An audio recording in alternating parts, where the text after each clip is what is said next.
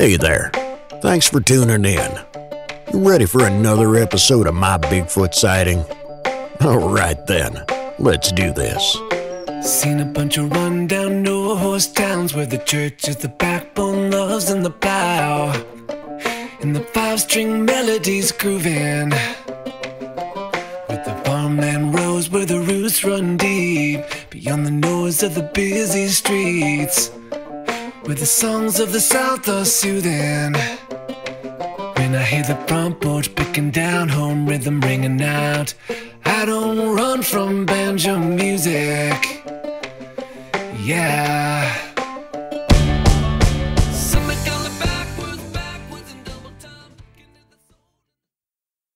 If you'd like to be able to listen to the show without ads and have full access to bonus content, that's an option. To find out how, please go to mybigfootsighting.com. my Bigfoot sightings helped shape who I am and how I look at the world and nature around me. My first sighting, I was 15. It was the fall of 79 in Cloudy, Oklahoma. And first year I had got to go hunting with my dad, my brother. We got up at four that morning and ate breakfast and everything. And we got on our bikes and went down, oh, about two miles from camp. And we stopped at one place and hit our bikes. And my dad told me, he says, you go up in the stand. And he was going to go one way around this mountain and my brother was going to go the other way around the mountain. And hopefully they chase something up, you know, towards me. And I said, okay. So I shimmied up this tree into the tree stand. I was about 18 feet off the, off the ground and they took off and they told me that they were going to go a little ways and then stop and wait for the sun to come up and then slowly make their way around and they'd see me in a few hours. So I'm sitting there in the tree and it's nice and dark. I can hear something behind me you know, like digging around, but it didn't sound big. It kind of sounded like a coon or a possum, but nothing huge or anything. And I kind of looked over my shoulder and I didn't see anything. And it was still pretty dark. Well, the sun started coming up and it was so cold. And I'm sitting there in the tree and trying to be quiet and everything. And I hear it digging behind me and I'm going, Maybe it's a squirrel or something. It just didn't sound very big. And I'm watching out from the way my father told me to, to watch and everything. And I hear something take steps. And I thought, well, maybe it's one of them. They forgot something. And my father was pretty good sized guy. So as it's walking, around, that's what I'm convincing myself was, okay, one of them forgot something. And it took about, I guess about 15 minutes for it to get closer and closer. And because it sounded bipedal, I never thought about it being an animal. And so I'm just sitting up there in the tree real still and everything. And about the time it walks under the tree that I'm in, I said, Dad, what'd you forget? And I looked down. This animal behind, underneath me looked up like, where did you come from? And it didn't turn its neck or anything. It kind of like leaned back and looked up where I was. And then it looked down and it kind of looked around, you know, to see if there was anything else around and back up at me and then looked the other way and looked up at me a third time and just kind of snorted. Took off walking. I had my British 303 in my hand. Never thought about shooting at it. The eyes on this thing, it was dark. There was no white in the eyes. It had a, a flat nose. It was reddish brown hair a little bit of a cone on its head It wasn't, you know, like some people talk about it being a, a straight cone. And I felt like after it walked off that it could have just reached up and grabbed me. And it took me 15 minutes to stop shaking before I could get out of the tree. I finally got out of the tree and stood around there a few minutes and was trying to calm down. Finally got on my motorbike and went back to camp. And my father and my brother come in, oh, three or four hours later. And I told my dad what I seen. And he told me, he goes, Oh, you just didn't want to sit in the tree. And I'm like, No, no, this is what I seen. And I described its hands. It was, had big hands, didn't have big claws or anything, you know, just, just nails, but they were dirty. I guess from digging. And I'm trying to describe it and he's just, oh, you don't know what you're talking about. You're just starting something. I've never told anybody else about this. And it always stayed in the back of my mind. I've had nightmares throughout the years of the eyes. Just the eyes. I always read up on Bigfoot and, you know, things, you know, what they do and different reports on them and sightings and stuff like that. But I really didn't start looking for them and getting into research groups until, oh, the last eight or 10 years. I lived in southeast Oklahoma all these years. And one morning I was going to work down in Antlers, Oklahoma. And I seen something walk across the road in front of me just at the edge of my lights. And I kind of looked at it sideways. Of course, I just seen a flash of it going there. It was raining and everything. I never thought about it more. I was like, oh, you're just tired. It's the rain. But they were always in the back of my mind. Well, 15 years ago, I moved up close to Oklahoma City to start a new job and everything. And I had just got custody of my autistic granddaughter. And I bought a new place up here by the city and I got a few acres and she always liked to play outside and everything and she makes sounds. She's always making sounds and even though she was, you know, older than kids that played in the dirt, she would sit down and play in the dirt. She was very childish. She still is. And one evening I walked out on the porch to tell her, you know, supper was ready. And she's there playing in the, in the dirt and she hollered at me and she said she had a new friend. And I said, what are you talking about? You got a new friend. She says, he's down there by the fence. And my house is probably, oh, a good 150 yards off the road on a long driveway.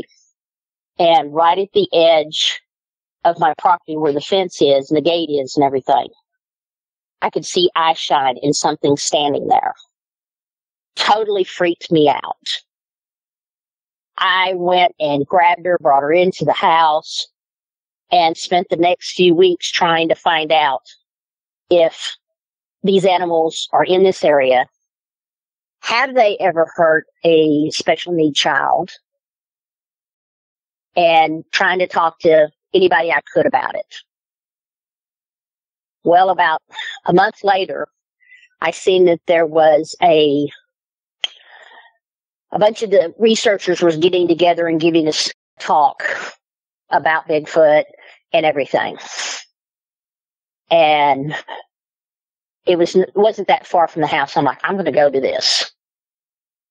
I went to it and listened and asked questions and brought up the point of, you know, have you ever heard of one of these animals hurting a special need child? And I was told that there's been a few of them over in Tennessee and Kentucky where parents of special need kids, especially autistic kids, have said that they have seen them watching the kids.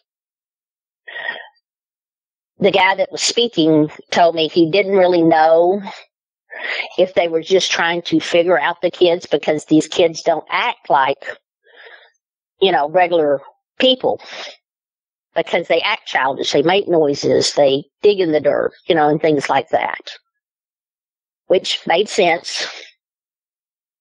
And I joined one of the groups to start looking around the area to see how big of a problem it was, which this took me on a couple adventures. We went down to do a overnight research down in far south southeast Oklahoma in the mountains. And I had at two o'clock in the morning something throwed a rock at my tent and then let out a real good howl right behind my tent. First time that happens, you want to talk about the hair stand up on your neck. Oh, I had a nine millimeter with me, but I wasn't walking out of that tent. Something was going to pull me out of that tent, but I wasn't walking out of that tent.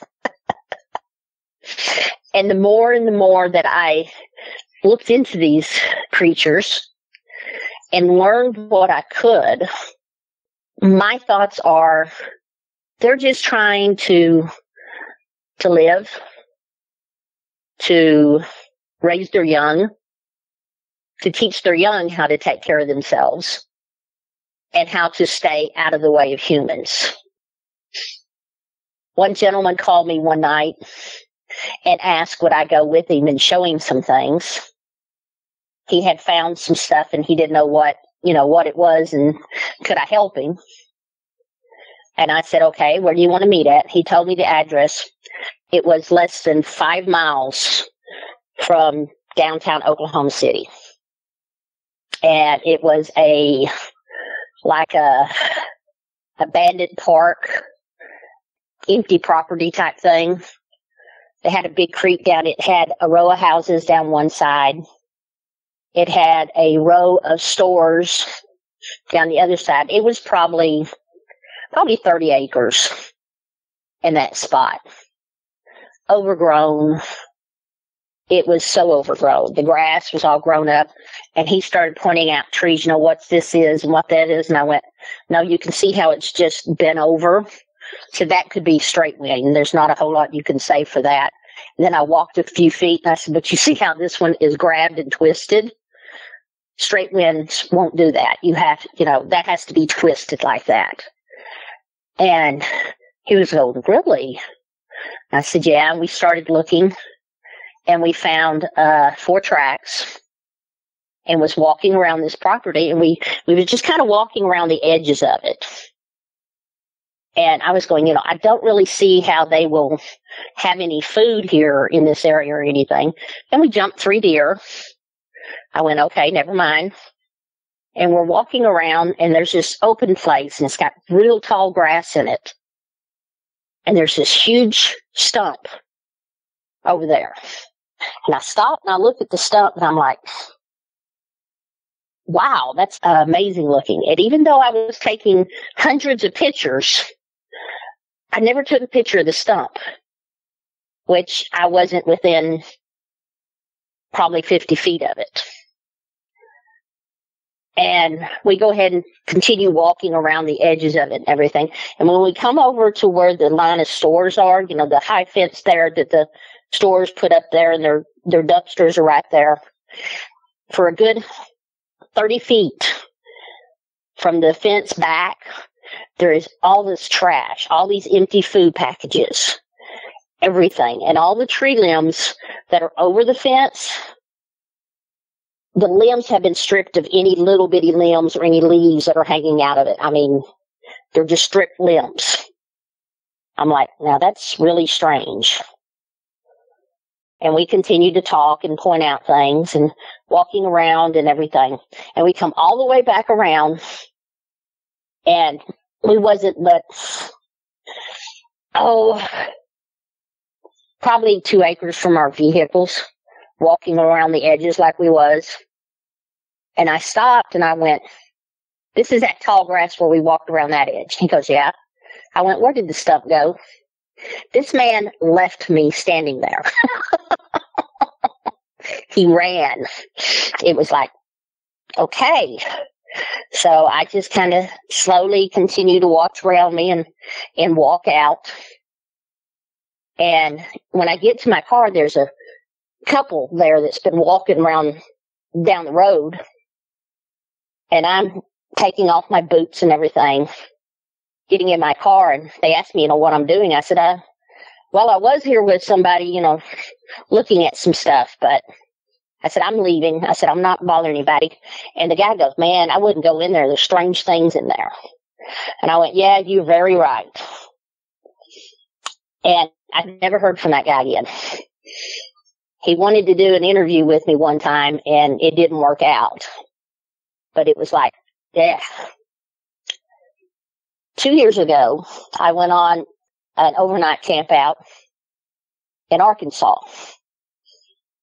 And we had walked around this little pond, you know, searching and things and putting up cameras and recorders and stuff in this area. And we was, oh, I'd say 10 miles from any, any little towns or any houses or anything. It was part of a wildlife management area. And we spent the night, a couple of nights there, but we're sitting by the fire. And we're all talking and everything. And one of the guys got a flare. So he's zooming around, just kind of looking to see if there's anything around us. And he sees eye shine and he sees a, a shape and everything. And he says, there's something watching us. And it was like, okay. And we got up and kind of walked around a little bit. And as we went that way, well, it crawled off. He, he caught it on the flare crawling off and taking off. And it was like, okay. And we went back to camp. And about 20 minutes later, he went over that area again or pointed the flare in that area and caught the same shape and a little shape also. And I was like, a little one? And he goes, yeah, a little one. And I was like, oh, this is going to be cool. And I went to my car and I got a couple of little rubber balls, probably the size of a 50 cents piece, you know, not huge, but not little bitty tiny. And I just walked out in the woods and sat them in a tree and went back to camp and they stayed. We caught signs of these two creatures a couple of more times, you know, kind of going around camp. And we had put cameras out, so if it had come in, anything had come into camp, we would have caught it.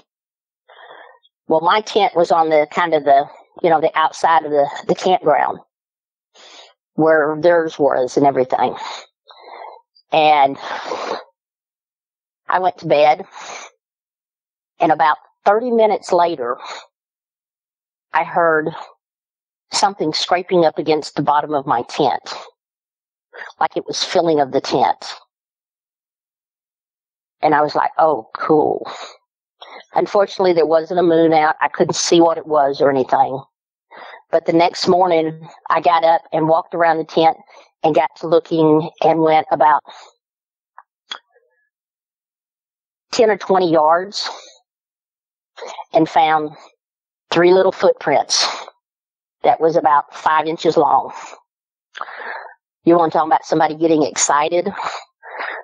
Now I own my own flare.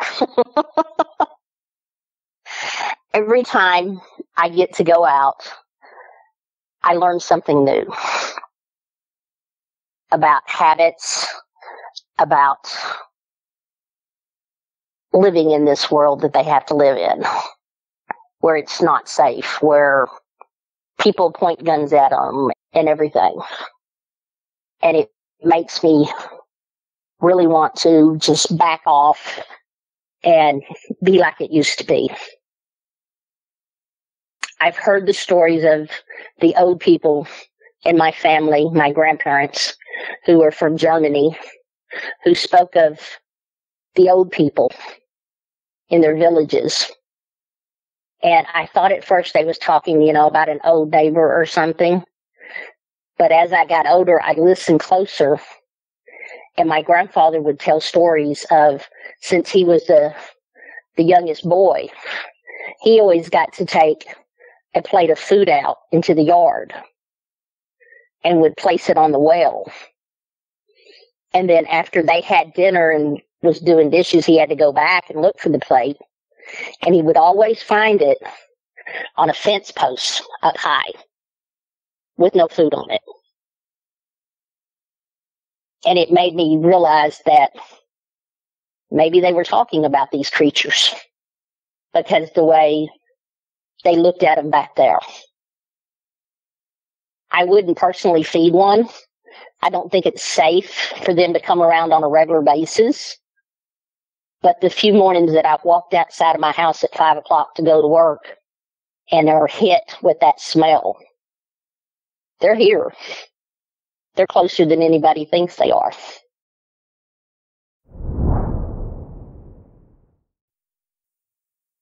My Bigfoot sighting was in North Carolina, just south of Whittier, North Carolina, which is south of Franklin, North Carolina, and it'll be east of Bryson City, North Carolina. We had rented a cabin up in the mountains. Matter of fact, right on top of a mountain. This would have been in 2021. And first time I ever rented the cabin, seen pictures of it. We got up there and got everything situated and decided to go rambling a little bit. I had the cabin rented for three days, Friday, Saturday, and Sunday. So we rambled all day that Friday and uh, went and seen the elk and done a little tourist thing and all. Came back in about 10 o'clock. And so we were hungry and she decided to fix us a little something to eat. So she fixed some grilled cheese and some soup. And uh, I cut the TV on, watching a little bit of TV. I think Gunsmoke was on while she was in the kitchen, she heard something on the front porch. Called me in there. I went in there and looked out the window and I didn't see anything. So we figured it was just a coon or something walking around or a possum or something out there, possibly a bear because we were in the mountains. But anyway, I went back in the living room, and sat down on the couch. About that time, we heard something knock over on the porch. Something fell over. So I got up, went back in the kitchen, and looked out the window again. I didn't see anything. Well, she got scared, come back in there with me in the living room. And there's a big window there on the front, looking out on the front porch. And, uh, we heard cracking and stuff coming across the floor of the porch. And got a little bit uneasy about it. And I went over where my pistol was. I had a pistol on the table and my phone on the lamp table. And I thought it was a bear about that time. And then here comes this thing grunting. It started grunting. It grunted three different times, real deep grunts. I mean, deeper than a hog or a bear. So we were both looking out the window and there's a night light out there on a pole and it shined toward the house and toward the porch. And of course, the lamp was right there on the lamp table. It shined toward the window. Well, it came by the window, paused for a few seconds, looked in the window, and then walked right on back up into the mountain, I guess. But anyway, it had a uh, huge shoulders, hardly any neck. I couldn't see the face real well, but it had a nose. I could see a little bit of the nose, and the eyes had a red glow to them, like a light red glow. But right after that, what I wanted to do, first thing come in my mind was pick the phone up and get a shot through the window. Then my better judgment said, no, pick the pistol up. So I picked the gun up. About the time it looked in the window when it went on by, and I had it loaded and everything. We walked around just a few minutes, made sure all the doors were locked and curtains were pulled together back. and cut every light on in the cabin and sit around a few minutes, cut the TV off, hoping we might hear it again if it, if it come around. But we didn't hear anything else. There was no other racket, no noise. But we didn't get any sleep all night. Sit up just about all night. I think she she finally went to sleep around three or four o'clock, dozed off a little while, but we were both just scared. I mean, it was just a, a awful feeling. I mean, of, of the unknown. I, I didn't know what to think. I just, it was just a real bad feeling. But the next morning, I told her that we don't need to stay there another night. So I went outside after we loaded up everything. Walked around and there's huge rock croppings outside of the cabin around the porch and all and it had rained that night. And I looked for tracks, but couldn't find any. I did find a big flower base that was knocked over on the porch, the big one. I couldn't find any tracks. I looked on the porch for mud or anything. Didn't see any hair, so I guess it went on back up in the mountain. But anyway, I put the key in the box on the porch. We went and got us a motel room, got out up on top of that mountain and you just about had to have four wheel drive to get up there where we were at because it's right on top of a mountain, close to the river. And anyway, we left and just a bad experience for us. I, I don't think I want to see another creature like that for a long time. But anyway, that's the only experience I've ever had other than seeing a few tracks I lived in up in Winston County for 12 years, right in the bank Bankhead National Forest. And Cliff and I, a friend of mine who's already passed on, we got called by a deputy to go with them down to a farm out on Lake here, Smith Lake.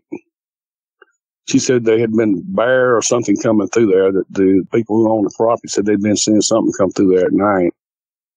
The lake was down real low, and ice was coming out of the ground. So we were walking practically on ice out there on a sandbar right next to the lake. We found three footprints. Two looked like adults and another looked like a little young and, you know, like nine or 10 years old. But uh, the large track was 18 inches and the other track was about 16 inches or 14 inches. And they were real wide. Cliff made some plaster Paris cast out of them. And that would have been, let's see, about 2010, 2009. And then I was an original member of the Patterson Bigfoot Club back in 1967 when I was a teenager. Got a card and a five or seven picture of Bigfoot. I still got the picture, by the way. Well, I lost my little card and it was just, uh, like I say, just extremely bad experience for me and her. It upset us both. It took me a long time. I kept all my blinds closed in my house watching TV. I, I'd get up and look out the window sometimes after that, weeks after that, seeing if I could see anything. But the area I live in here, we've had uh, several experiences with the creatures here. There's a place here called Booger Holler back in uh, the 50s. There's a farmer who had a little mechanic shop there. It's way back over in the woods on a dirt road. Of course, they paved it now, but he had two grown hogs in the pen one night and something took those hogs out of the pen, didn't come through the gate, didn't tear the fence up. Took them out of the pen, took them about 50 yards from the pen and just gutted them and pulled the legs off from the joints, the hindquarters, and just went off with them. Well, he had hound dogs, and they said they went and hunt, tried to hunt for whatever it was. They found these tracks that looked like bear tracks, but they didn't know what it was. This is back in the fifties. And then on the river here, the Tallapoosa River, I live close to it. Back in the sixties, there were two guys hunting on Fox Creek down there and the dogs were treeing and they heard something come out of the woods. They looked over next to the river where the shows were this big hairy thing looked like it's seven, eight foot tall with his arms up in the air, straight up in the air, was going across the river there. It shows. It went right on across the river and got out of the riverbank and went back up into the woods. That's about all I can tell you about experiences around here, other than what my cousin's seen. I have a cousin lives up in Childersburg.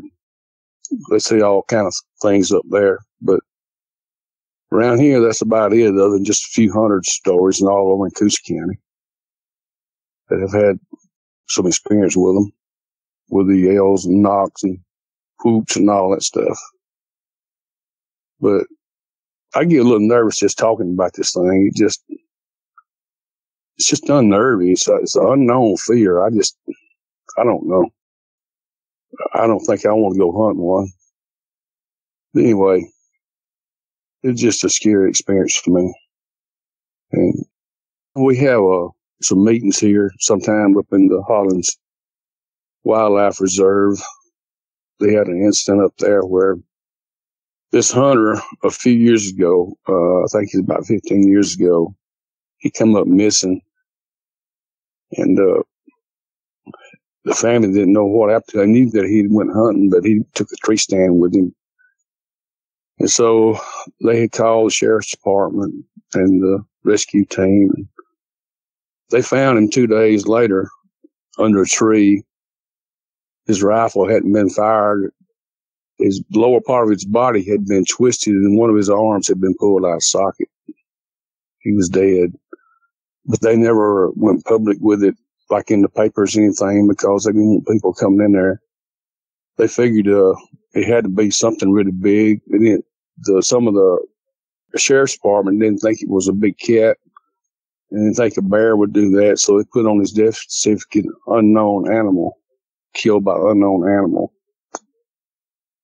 And there's a few other little instances happen around here, but not worth talking about really. Just, uh, some hollers and yells and whoops, different things like that. Anyway, it's a very scary thing. It's not something that you want in your life. I can tell you that right now. So that's about it on my experience with them.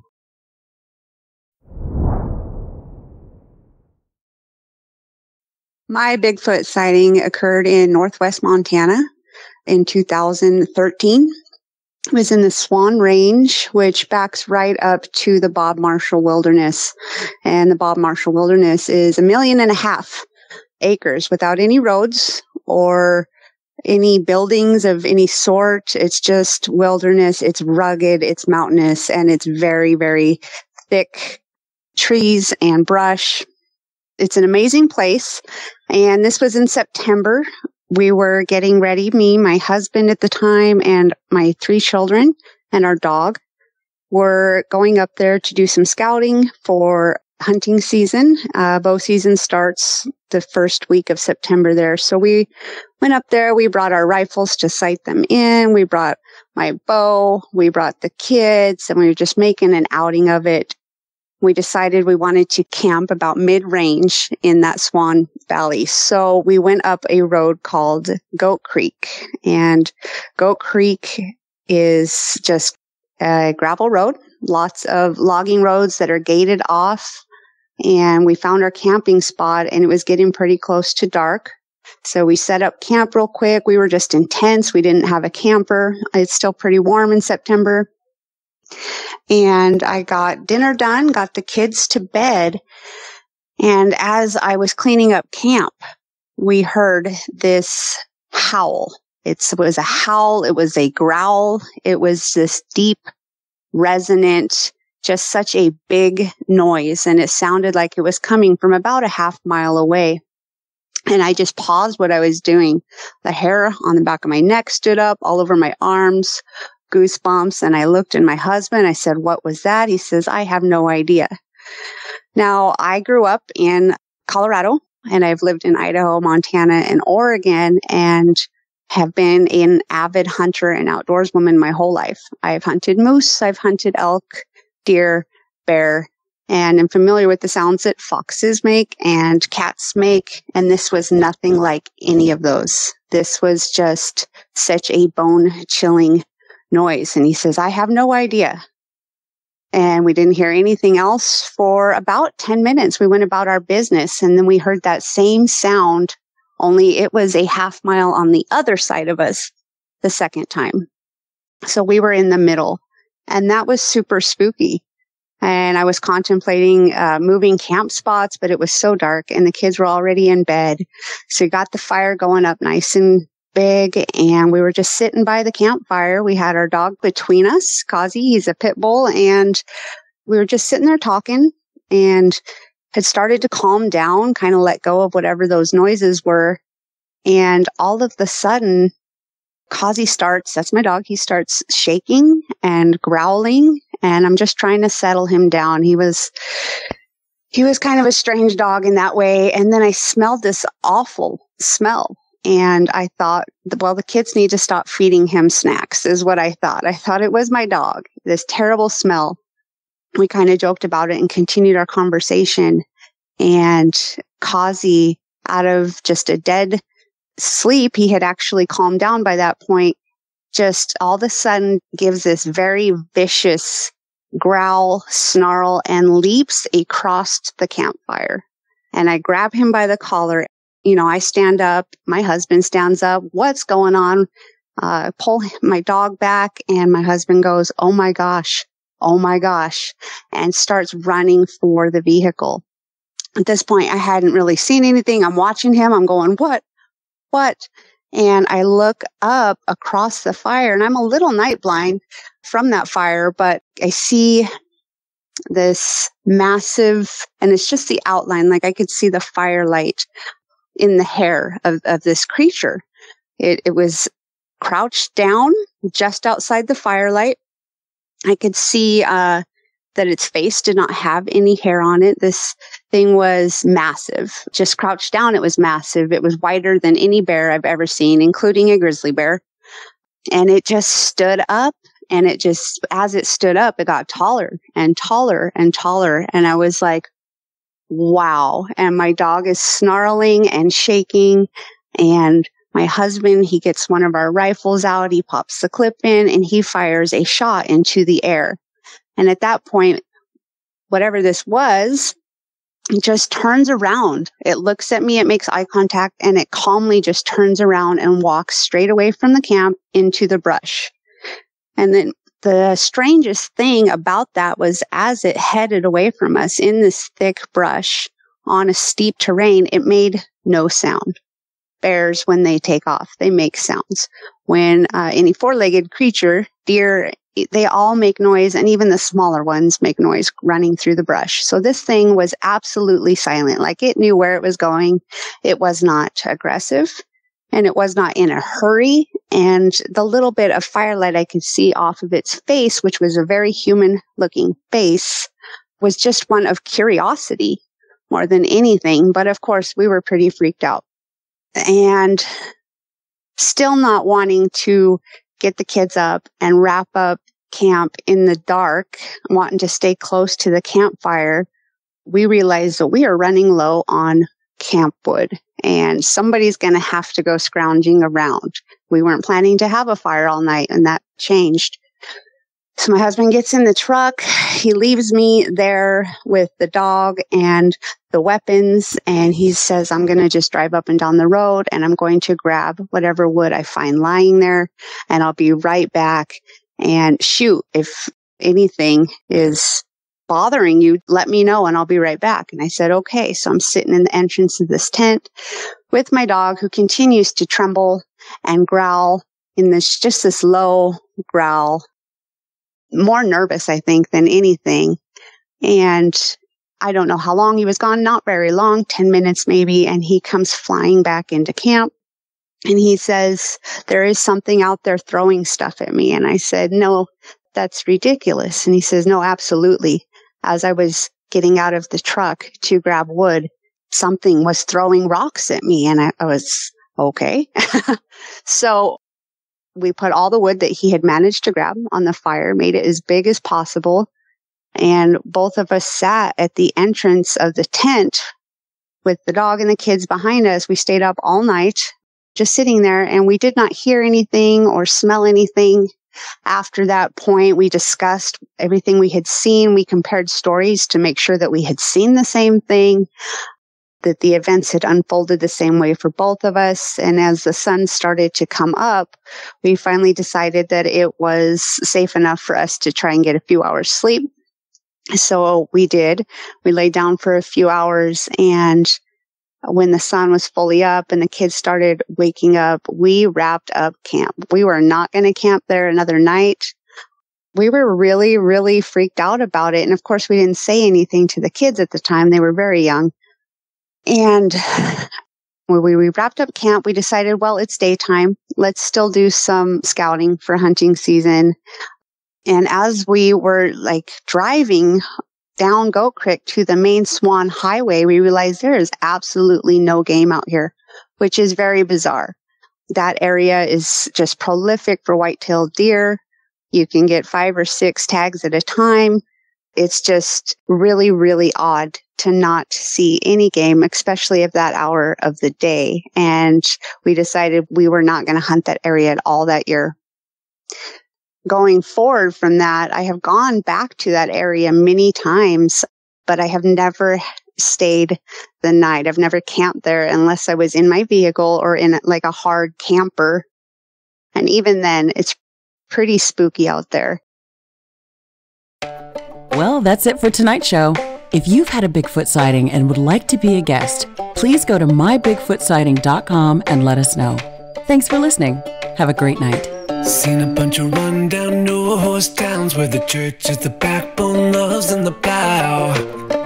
And the five string melodies grooving. With the farmland rows where the roots run deep. Beyond the noise of the busy streets.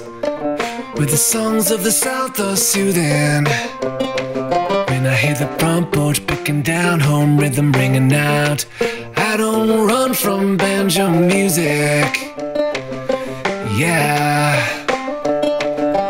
The sound of a memory brings me back to the bluegrass playing on my dad's eight track. His pickup man had been through it. Getting through the day on Scruggs and Skaggs, booking a bales to those Tennessee jams. There's no other way that I'd do it. I hear the front porch picking down home rhythm ringing out. I don't run from banjo music. Yeah. Something going backwards, backwards in double time. Getting the soul and the tremolo Kentucky style. Those are the